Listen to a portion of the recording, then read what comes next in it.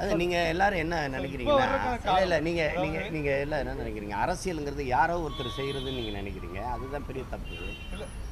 ஒன்று ஒன்று கவனிங்க. அரசியலை விட்டு நீங்கள் விலகி நிற்கலாம் அரசியல் உங்களை விட்டு விலகாதுன்ட்டு அரிஸ்டாட்டில் சொல்கிறாரு நீ அரசியல் வேண்டாம்னு விலகி நின்றால் எவனை அறிவிருக்கிறியோ அவன் ஆட்சியின் கீழே வாழ நேரிடும்ங்கிறான் பிளாட்டோ. ஒவ்வொரு மனிதனின் ஒவ்வொரு வார்த்தையிலும் அரசியல் பிறக்குதுங்கிறார் புரட்சியாளர் லெனின். அரசியலுங்கிற எண்ணமே இல்லாதவன் க மனிதனே மனிதனே இல்லைங்கிறார் அண்ணல் காந்தியடி இப்போ நீங்கள் என்ன செய்யலாம்னு சொல்லுங்கள் ஒரு மனிதனின் பிறப்பிலிருந்து இறப்பு வரை அனைத்தையுமே தீர்மானிப்பது அரசாக இருக்குது அந்த அரசை நிர்மாணிப்பது அரசியலாக இருக்குது இந்த உலகத்தை இரண்டு இயல் தான் இயக்குது. ஒன்று அரசியல் இன்னொன்று அறிவியல். அந்த அறிவியலையும் சேர்த்து இயக்குவது அரசியலாக தான் இருக்குது அந்த அரசியலை விட்டு விலகி நின்று என்ன செய்ய முடியும் சொல்லுங்கள் நான் என்ன வேலை செய்யணும் அவர் என்ன வேலை செய்யணுங்கிற தீர்மானிக்கிறது அதுதான். இந்த படம் ஒரு படம் எடுக்கிறோம். அந்த படத்துக்கு இவ்வளவு கட்டணம்ங்கிற தீர்மானிக்கிறது யார்? அப்போ அப்போ அஞ்சு அஞ்சு காட்சி ஓட்டுறதா நாலு காட்சி ஓட்டுறதா? இது எல்லாத்தையுமே முடிவு எடுக்கிறது யார்?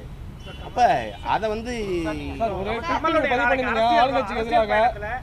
கலைஞரை சந்திச்சிட்டு இருக்கீங்க ரஜினியை சந்திச்சீங்க இடதுசாரிகள் வலதுசாரிகள் எல்லாரும் சந்திச்சிருக்கீங்க. அதிமுகல யாரையும் சந்திக்காம போறீங்க?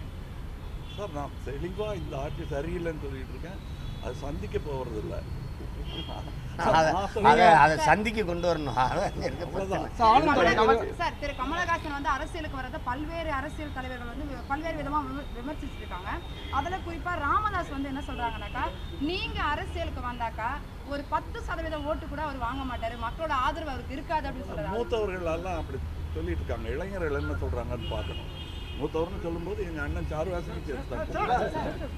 சார் இப்போ ஆளும் தரப்பு எதிரான ஊழல் தொடர்பாக யாருமே குரல் கொடுக்க வ- முன் வரல அப்படின்னு சொல்லி ஒரு முறை நீங்கள் வந்து ட்வீட் பதிவு பண்ணீங்க. அதுக்கான சீமான் அவங்க பதில் சொல்லும்போது நான் இணைந்து குரல் கொடுக்க தயார்.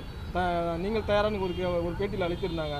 நீங்கள் இணைந்து செயல்படுவதற்கான இந்த ஊழலுக்கு எதிராக இருவரும் இணைந்து செயல்படுவதற்கான வாய்ப்பு இருக்கு ஊழல்ங்கிறது பத்தாம் ரூபா சொல்கிறீங்க நீங்கள் ஒரு- நிமிஷம். ஊழல் மட்டுமே பிரச்சனை கிடையாது. இங்கே நீருக்கும் சோறுக்குமே பிரச்சனை இருக்குது நீங்கள் குடிநீருக்கான வேட்டையை எங்கள் ஊருக்கு போய் பாருங்கள் ராமேஸ்வரம் சிவகங்கைலாம் எங்கள் அக்கா தங்கச்சியெல்லாம் நீங்கள் பார்க்குறீங்க ஊடகங்களில் வருது ஒரு வலைவழியில் வருது.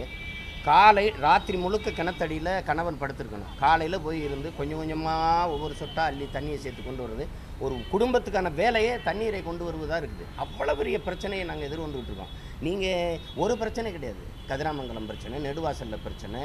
நீங்கள் சேலம் உருக்காலையை தனியாருக்கு கொடுத்துறாதீங்க போராட்டம். எல்லா இடங்கள்லையும் போராட்டம் இருக்குது நீங்கள் ஊழலுங்கிறது அது ஒரு நிர்வாக சீர்கேடு. அது அது வந்து அவர் நினச்சோ நான் நினச்சோ சரி பண்ண முடியாது. ஒவ்வொரு மனிதனும் உளமாற என்னைக்கு உணர்றானோ அன்னைக்கு தான் ஊழல் லஞ்சத்தை ஒழிக்க முடியும். இப்போ வந்து இப்போ இப்போ இந்த தம்பி வந்திருக்கிறது வந்து வாழ்த்து சொல்ல. அதான். நாங்கள் இங்கே பாருங்கள் ஒரு ஓட்டுக்கு என்னைக்கு நீங்கள் காசு கொடுக்குறீங்களோ அதுதான் ஊழலுக்கான விதையே. ஒ- ஒருத்தன் நூறு கோடி முதலீடு செஞ்சு ஒரு இடைத்தேர்தலை வெல்றான்னா நூறு கோடியை முதலீடு செஞ்சு மக்களுக்கு சேவை செய்வா. லாப தேவைக்கா மக்கள் சேவைக்கா? அப்போ அதான் என்னைக்கு அங்கீகரிக்கிறது அந்த ஓட்டுக்கு காசு கொடுக்குற நிலை நான் இன்னைக்கு சொல்லலை. அவர் சொல்லலை. அண்ணல் அம்பேத்கரே சொல்றாரு. தன் மதிப்புமிக்க உரிமையை சில ரொட்டி துண்டுகளுக்காக விற்பது என்பது அவமானகரமானதுங்கிறார். அதே தெய்வ திருமணம் ஐயா முத்துராமலிங்கத்தர் ஓட்டு காசு கொடுக்குறவன் பாவி அதை வாங்கிட்டு ஓட்டு போடுறவன் தேச துரோகிங்கிறார். அன்னையிலேருந்து இருக்குது இது. இதை ஒழிக்காம நீங்க ஊழல் லஞ்சத்தை ஒழிக்கணுங்கிறது சாத்தியம் இல்லை எவ்வளவு பெரிய. இல்லை இல்லை இருங்க இருங்க. இப்போ இவர் வந்ததை வந்து இந்த செய்திருப்ப வேணாம் அவர் வந்தது வாழ்த்த அரசியல் புது மாண்பு இது. பழைய மாண்பு தான். அதை மீட்டெடுக்க அது இடையில இல்ல. இப்போ இருக்கு. இது வந்து இங்க பாருங்க எல்லாத்தையும் தாண்டி எங்க மண்ணின் மகன் என் மகத்தான கலைஞன் எல்லாத்தையும் தாண்டி ஒரு ஒரு மாற்று அரசியலை எடுத்து வைக்கணும்னு நினைக்கிறாங்க. அந்த அந்த களத்தில் பயணித்து கொண்டிருக்கிற நாங்கள் வந்து வாழ்த்தணும்.